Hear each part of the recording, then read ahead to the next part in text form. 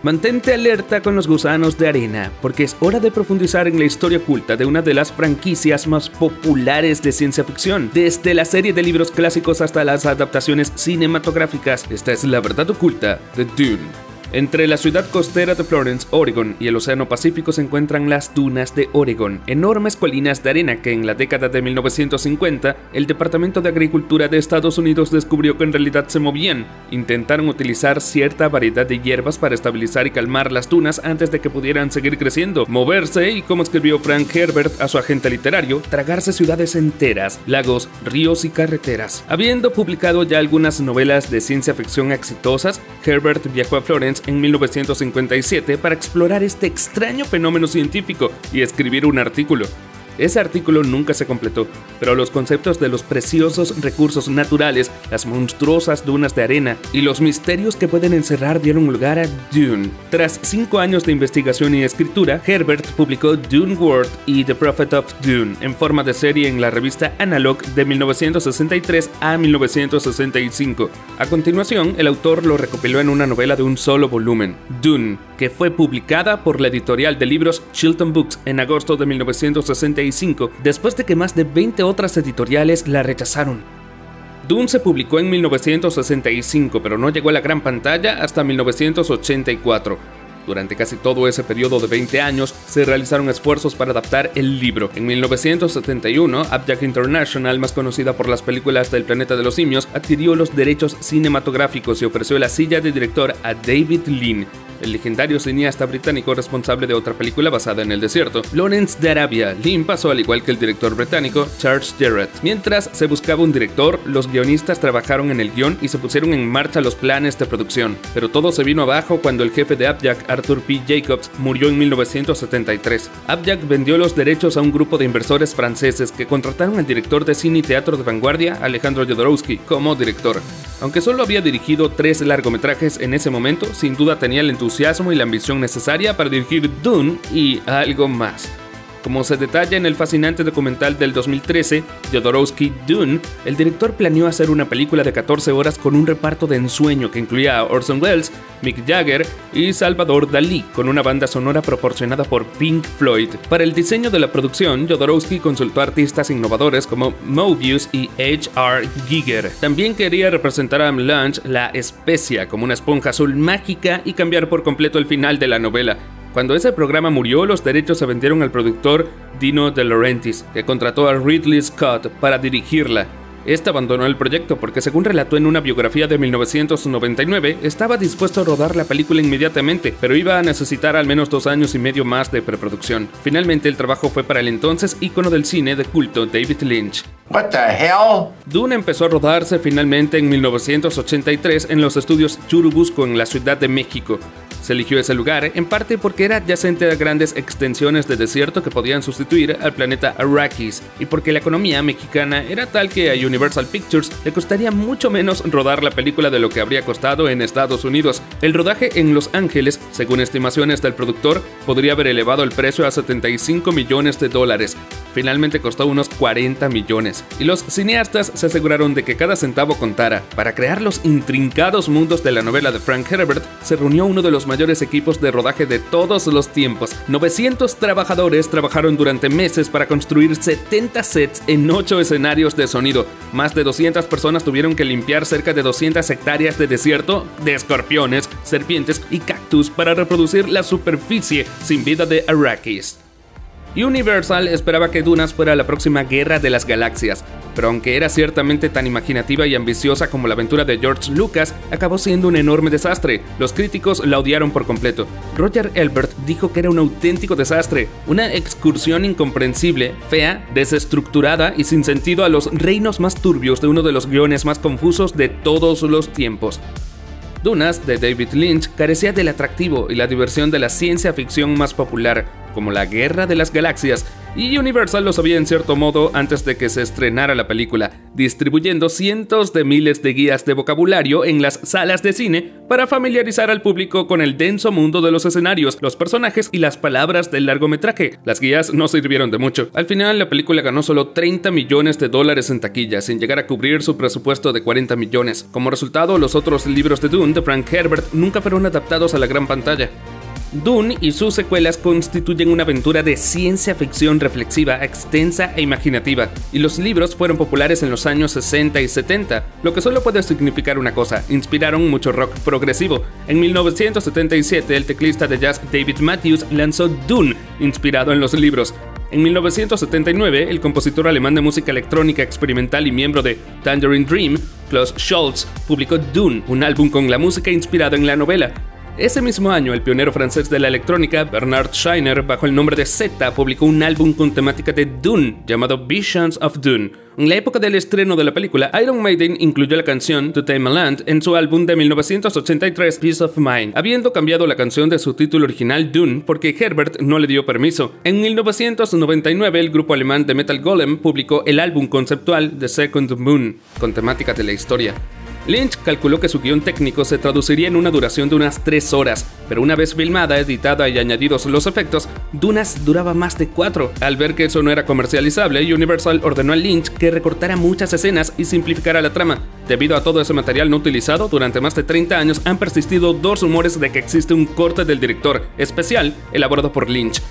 No lo hay. Universal se ha puesto en contacto con Lynch, pero su descontento y decepción con la película le ha impedido volver a elaborar otra versión. Sin embargo, existe una versión de 3 horas de Dunas con escenas extra añadidas ensambladas sin la participación de Lynch para su emisión en televisión. Lynch estaba tan disgustado que exigió que se retirara su nombre de los créditos de esta versión y que se sustituyera por el seudónimo habitual del director, Alan Smithy, con el nombre falso de Judas Booth como guionista, llamado así porque Universal traicionó a Lynch como Judas hizo con Jesús y también mató a la película, como John Waltz Booth hizo con Abraham Lincoln. En una carrera llena de películas extrañas y desafiantes y cero éxitos de taquilla, Dunas es el único proyecto que el guionista y director David Lynch dice que realmente desearía no haber realizado. De hecho, dice que incluso le ensució como artista. Lynch declaró posteriormente a Extrovert que solo puede culparse a sí mismo y dijo, probablemente no debería haber hecho esa película, pero vi toneladas y toneladas de posibilidades para las cosas que me gustaban y esta era la estructura para hacerlas. Había mucho espacio para crear un mundo.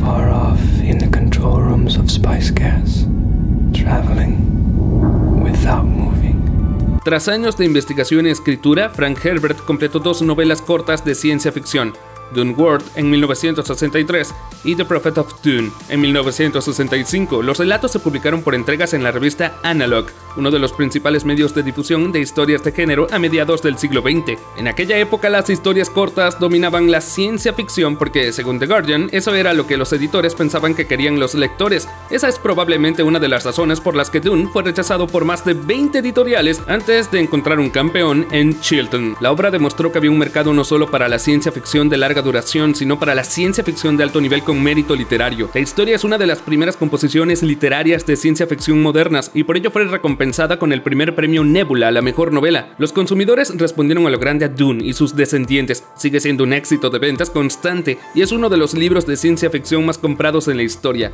mientras que la secuela Children of Dune se convirtió en la primera novela del género en ser un éxito de ventas en formato de tapa dura.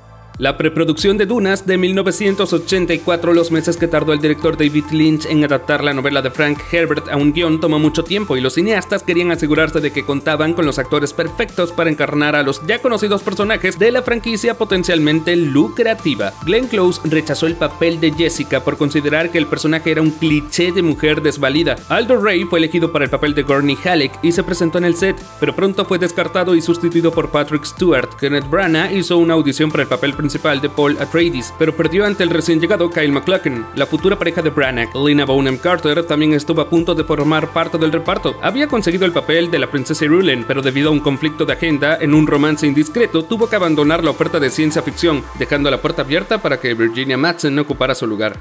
Aunque Dune está ambientada en planetas sofisticados en un futuro lejano, las opciones de entretenimiento de sus habitantes tienen una sensibilidad claramente antigua y rústica. Gurney Halleck es una figura importante en la vida de Paul Atreides, un guerrero maestro y aliado al que le gustaba interpretar viejas baladas para entretener a sus invitados y socios, todo ello acompañándose de un largo instrumento de nueve cuerdas llamado baliset. Este instrumento, una especie de cruce entre una guitarra y una citara, proporcionaba suficiente música para ayudar a Halleck a enfatizar sus proverbios, sus lecturas de las escrituras sagradas y sus letras.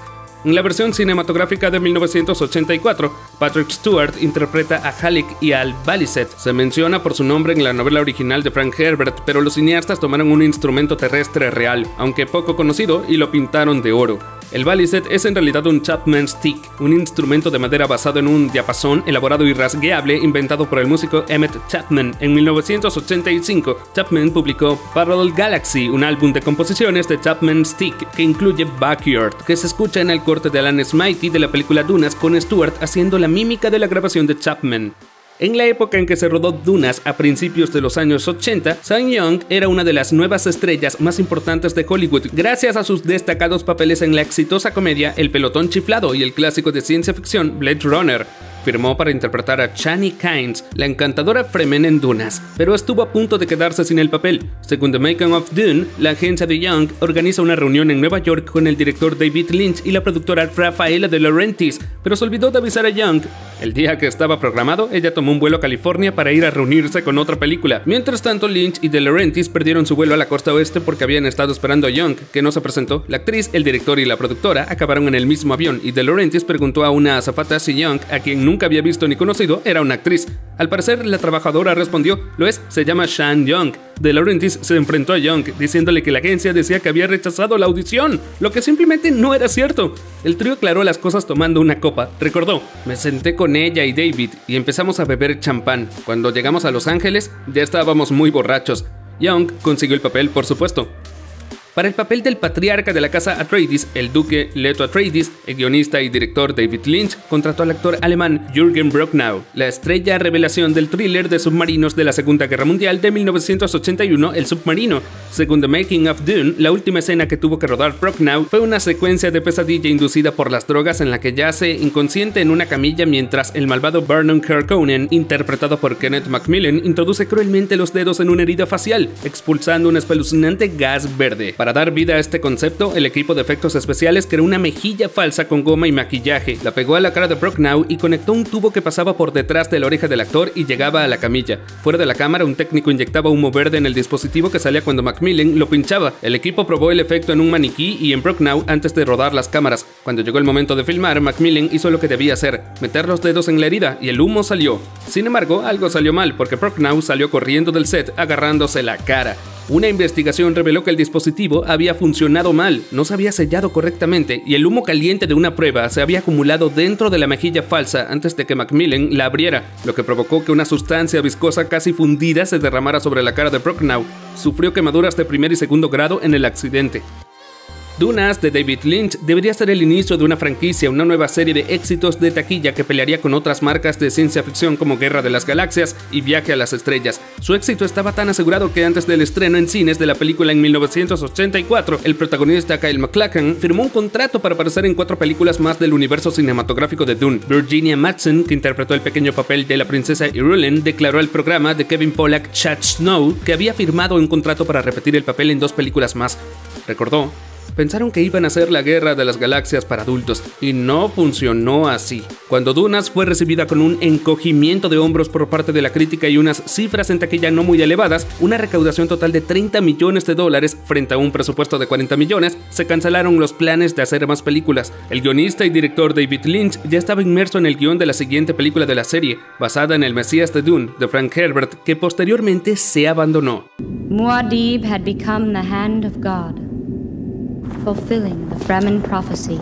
En lugar de buscar un compositor de orquesta para crear y dirigir la partitura de la película original de 1984, los cineastas recurrieron a la banda de rock Toto para obtener la música espeluznante, futurista y basada en sintetizadores de la película. El grupo, formado por exitosos músicos de sesión de Los Ángeles, acababa de alcanzar el punto álgido de su carrera, ganando el premio Grammy al álbum del año 1983 por Toto IV, que incluía los éxitos Rosana y África. La banda se encontraba en una encrucijada cuando llegó el momento de grabar la música de Dune, ya que el cantante Bobby Kimball acababa de marcharse y el grupo decidió hacer la partitura de la adaptación de ciencia ficción de David Lynch en lugar de otro trabajo que le habían ofrecido, grabar la banda sonora de Todos a Bailar. Sin embargo, el álbum fracasó, publicada junto con el quinto álbum de estudio de Toto, Isolation, la banda sonora de la película se hundió casi tanto como la película, alcanzando el puesto 168 en la lista de álbumes de Billboard y desapareciendo pronto de la circulación durante décadas. Según Vintage Guitar, los miembros del grupo vieron la película en su estreno y la calificaron de fiasco y en privado pasaron a referirse a la película como pésima. A pesar de los mediocres resultados de la película, la franquicia siguió reuniendo más fans con cada año que pasaba. La propia franquicia también creció con una miniserie muy bien recibida que se emitió en el canal Sci-Fi en el 2003. El hijo de Herbert, Brian Herbert, escribió más novelas de secuelas y precuelas de Dune que un éxito de ventas con Kevin J. Anderson. En el 2008, Hollywood volvió a ver la saga como una propiedad con mucho potencial comercial. Paramount anunció planes para una nueva versión de la primera novela y contrató a Peter Berg, el director de Hancock y Battleship, para Un año más tarde, Berg abandonó y Pure Mortal, de la fama de Búsqueda Implacable, lo sustituyó, pero el estudio canceló todo en marzo del 2011. Una vez más, Dune se negó a morir. En el 2016, Legendary Entertainment reinició el proyecto de nuevo. Denis Villeneuve, el director nominado al Oscar por La Llegada y Blade Runner 2049, firmó para dirigir una nueva adaptación de la novela original de Frank Herbert de 1960 con un presupuesto de unos 200 millones de dólares. Se encuentra entre los proyectos más caros de la historia de Hollywood. Y eso es solo el principio, ya que el proyecto se planeó desde el principio para dividirse en dos películas. Madsen afirmó que los cineastas habían intentado hacer la guerra de las galaxias para adultos. Ese es exactamente el mismo enfoque que adoptó el guionista y director Denis Villeneuve cuando se propuso volver a llevar Dune al cine, más de tres décadas después de aquel malogrado intento. Villeneuve dijo a Fandom, la ambición es hacer la película de la Guerra de las Galaxias que nunca vi. En cierto modo es la Guerra de las Galaxias para adultos.